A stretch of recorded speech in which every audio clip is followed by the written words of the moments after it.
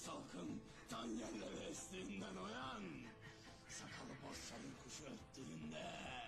Bedeviyattan sahibini görüp keşfediğinde. Sakalı uzun yabancı bağırınca. Ak karalı seçildiği sırada. Kalabalık Oğuz'un gelini, kızı, cenk için, hürriyet için süslendiği sırada... ...göğsü güzel,